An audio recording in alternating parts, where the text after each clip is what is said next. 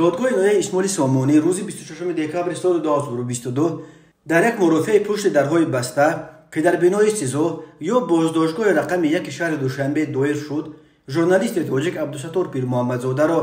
бо ҷурми ҳамкорӣ бо созмонҳои мамнӯъ ба ҳафт соли зиндон маҳкум кардааст. Дар ин бора радиои озодӣ аз қавли абдукарим пирмуҳаммадзода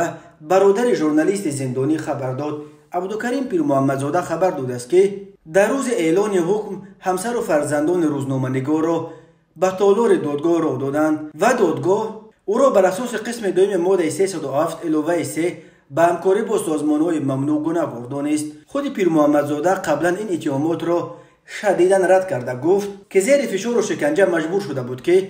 اتهام بافته و ساخته مقامات را به دوش بگیرد. عبدالکریم پیر محمدزاده برادر او نیز گفت که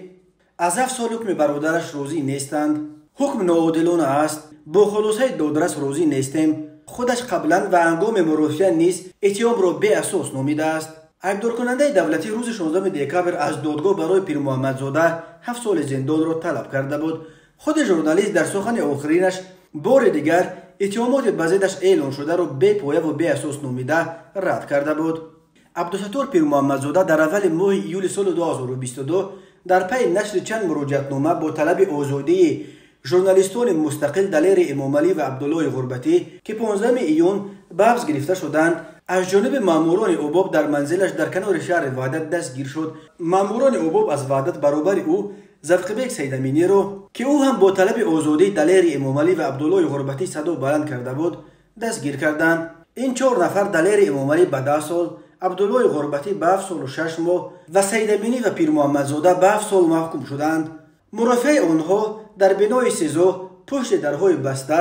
ва бе иштироки аҳли ҷомеа ва журналистон доир шуданд. Дар умум дар моҳҳои охир дар тоҷикистон беш аз да блогеру журналистон ба солҳои тӯлонии зиндон маҳкум гардиданд. Ин боис шуд ки ҳомиёни ҳуқуқ тоҷикистонро кишвари зиндони журналистҳо биноманд. Созмонҳои байналмилалии ҳомии озодии матбуот حکم ژورنالیستون و بلوگرهای زندانی شده توجک را غیر عادلانه نمیده چندین بار از مقامات توجکستان دعوت کردند که همه ژورنالیست های بازدار شده را آزاد کرده تعقیب مطبوعات را بحث کنند. دوشنبه تا کنون به این دعوت ها یگان پاسخ نداده است.